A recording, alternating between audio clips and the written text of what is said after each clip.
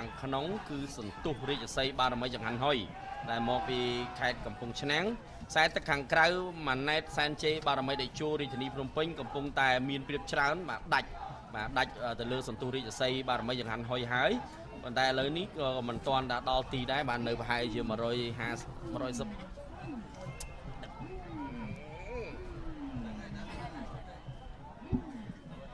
ចា336 336នេះគឺជាគូចុងបាទម៉ាណែតសែនជ័យបារមីដែលជួខ្សែទឹកខាងក្រៅបាទមកដល់ទីព្រាត់មុនសន្ទុះរាជសីបារមីចង្ហាន់ហុយខ្សែទឹកខាងក្នុងចា យើងមើលឃើញគូក្រោយនេះគឺជាទូកអុំជាបន្តខ្ញុំម្ចាស់នាងខ្ញុំសូមព្រះរាជានុញ្ញាតនិងអនុញ្ញាតអានជូននៅព្រះរាជអំណោយរបស់ព្រះក្រណាចៅម្ចាស់ជីវលើត្បូងនិងសម្ដេចព្រះមហាក្សត្រីព្រះវររាជមេដាជាតិខ្មែរទី2ព្រះរាជអំណោយព្រះក្រណាចៅម្ចាស់ជីវិតលើត្បូងព្រះមហាក្សត្រគឺខ្សែទឹកខាងក្នុងម៉ាណែតសែនជ័យបាទបារមីដែលជួរាជធានីភ្នំពេញ